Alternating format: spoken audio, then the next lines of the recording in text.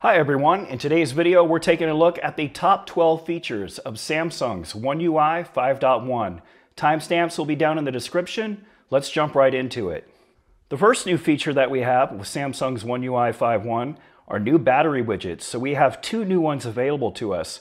Let's go ahead and take a look at how we access them. We go ahead and pinch in here, uh, go into widgets, and right here we have battery. We have both widgets available. Let's go ahead and go back to our screen. So what this will do is show all your Samsung related connected devices. You have this device here, as well as my Watch 5 Pro, as well as the S Pen. And if we grab the uh, Galaxy Buds Pro here and open these up, you'll see we now have the percentage of the Galaxy Buds Pro as well. So a great way to track all of your Samsung products that you have in your Samsung ecosystem right on your Galaxy device. The next cool feature that we have is an object selector inside the gallery application. Let's go ahead and take a look at it. Go ahead and open up your gallery.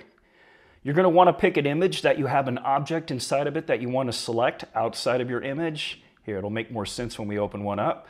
So here we have a little Android doll here. So what I'll do is just press and hold it. You'll hear a little vibration when it's done. And you just move it around. That's confirmation of what object you've selected. And now when you let go, you have the option to copy, share, and save the image.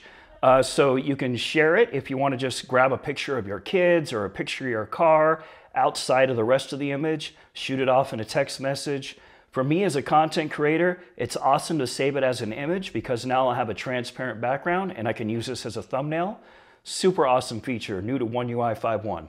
The next feature I want to talk about while we're here in the gallery application is if you swipe up on an image or a video, you will get more additional image or video metadata. So you'll get the actual device that took the image or the video. You also get more verbose information about the file details as well. This is new to One UI 5.1. We usually only have the top information here, but now we have both sets of data. The next feature I want to talk about is setting wallpapers for each of your unique modes inside of modes and routines.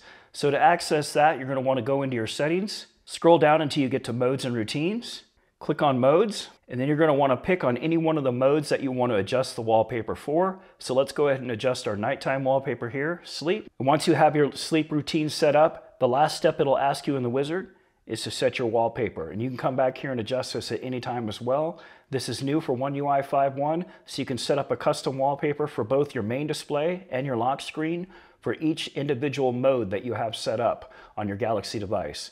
Another cool feature that we have, if we open up our camera application and we go over here to more, we now have Expert RAW included right in our more settings. So if we click on this, the first time you do it, it's going to prompt you to install it if you don't already have it installed on your device. But once you do, it'll take you directly to the Expert RAW app, which is a more professional style application all right, the next feature I want to talk about that's included in One UI 5.1 is the ability to change the storage location for your screenshots and your screen recordings. Let's go ahead and take a look at where you can adjust that. Swipe down to go to your settings toggles. You're going to swipe over till you get to screen recorder. Go ahead and click on that. And then you're going to click on details. And right here we have save screenshots in and we can now change our folder. So if you don't like it in the screenshots folder, you can change it to my documents or any other folder that you want to save them off to. Also new in One UI 5.1 is some additional tracking in the digital well-being application. We now have some walking tracking, a walking monitor. Let's take a look at this real quick. Let's go into our settings. All right, we're gonna go down until we get to digital well-being and parental controls. You're gonna wanna go ahead and pick that. If you scroll down a little bit, you're gonna go past driving monitor till you see walking monitor. So now you have the ability to actually track your walking activities. I'm not sure how useful this is. I'm not sure who would be looking at this data, but now you have this data available to you. So if you want to track your walking and what you're doing while you're walking, like tracking your applications, you have the ability to do it now in digital well-being. Another new cool feature with One UI 5.1 is the ability to change the color temperature right on the main screen instead of going into the settings. So what you do is you click on the top rightmost icon and you're gonna have an option for color tone. And down at the bottom, you'll see natural and warm. I prefer warm, pick whatever one you like. Another new feature with One UI 5.1 is the ability to snap back up a pop-up window back up to full size.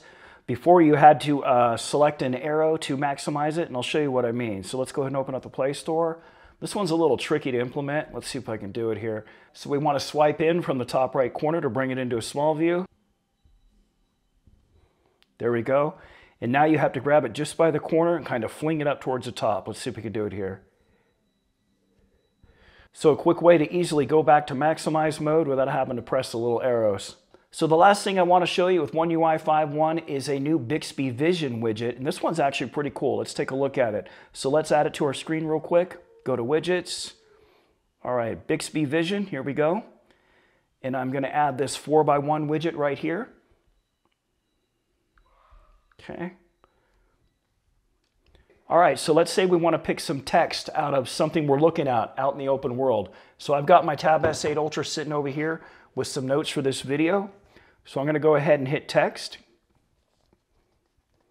I'm going to point it at the Tab S8 Ultra and it's going to let me select and highlight some of the text. And I can copy it out, copy it to text messages, whatever I want to do with it. You have four different options here for the Bixby Vision widget.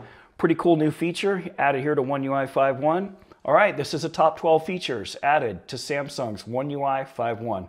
If you have any comments or suggestions for another video, please drop those down in the comments section as well. And as always, thanks for watching.